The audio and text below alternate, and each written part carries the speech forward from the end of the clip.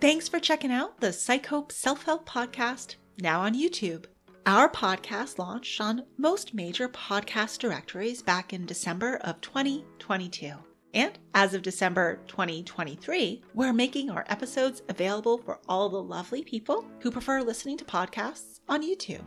There may be times when the dates don't match up, so thank you in advance for your understanding. Please refer to the video description for links to any resources discussed during the show. We'll be sure to point you in the right direction.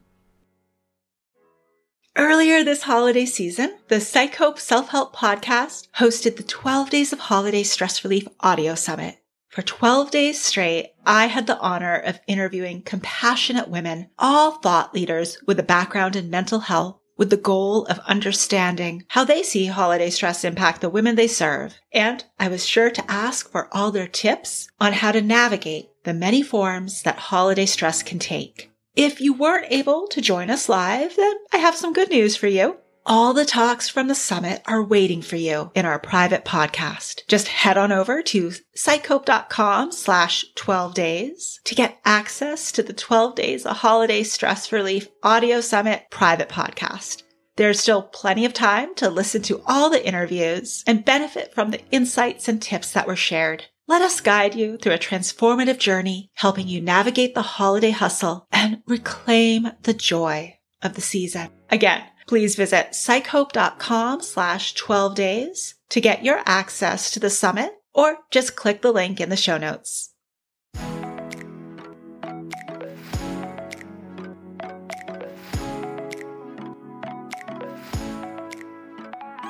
Hello and welcome. You're listening to the PsycHope Self Help Podcast, a space for women where psychology illuminates paths to healing hope and personal growth. I'm Dr. Jennifer McManus, a clinical psychologist, and I'll be your host.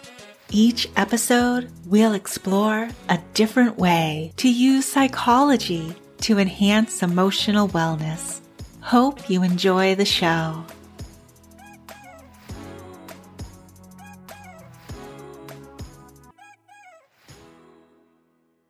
Hey there. It's episode 8. You're tuning in to the 12 days of holiday stress relief. Each day, we're exploring a different way to manage holiday stress. These are daily bite-sized episodes. On the fifth day of holiday stress relief, I want to remind you of the importance of self-care. During a time of year when we're so focused on the happiness of others, whether that's by getting a meaningful gift or hosting a memorable event, it's so easy to let our self-care go to the bottom of our list of priorities. Self-care is any activity that supports physical, psychological, emotional, social, and spiritual well-being. Self-care supports stress management, stress reduction, and enhancing overall well-being. Self-care can help with emotion-related effects of stress such as irritability or moodiness. Engaging in self-care activities can also help with symptoms of stress like headaches, indigestion, and problems with getting enough sleep. Self-care is an area where our mindset might get in the way though. It's not just because women are so busy that we don't prioritize self-care. All too often, we believe that self-care is selfish and everyone and everything else should come first. Well, I'm here to tell you that self-care is not selfish.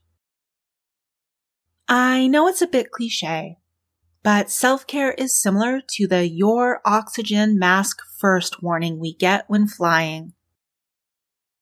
It's quite necessary to take care of ourselves first through self-care so we can pour into others at the level and in the ways we desire. We're better able to manage holiday stress when we engage in activities that we enjoy. Think about what you require as part of your holiday plans and what special actions, if taken, would help you to feel better. And treating yourself to a massage or a trip to the nail salon are some of my favorite self-care choices. There are plenty of self-care options that are totally free though. Self care could also be a spa day at home, complete with a bubble bath and candles. Other ideas for self care this holiday season include volunteering for a charity you value or spending quality time with loved ones to recharge. Once you have decided which self care activities would be helpful, it's time to make a commitment to doing them. Prioritize your well being by scheduling your self care activities. That's right. Put them on your holiday calendar. So, which self care activities are going on your calendar this holiday season? Thanks for listening to day five of the 12 days of holiday stress relief. Don't forget to follow or subscribe to the show wherever you're listening so you can tune in to the remaining episodes of this special series. The information shared on the PsycHope Self Help podcast is done so with the understanding that it does not constitute professional help, nor is it a substitute for professional help. If you think you might benefit from more than self help, there are resources listed in the show notes.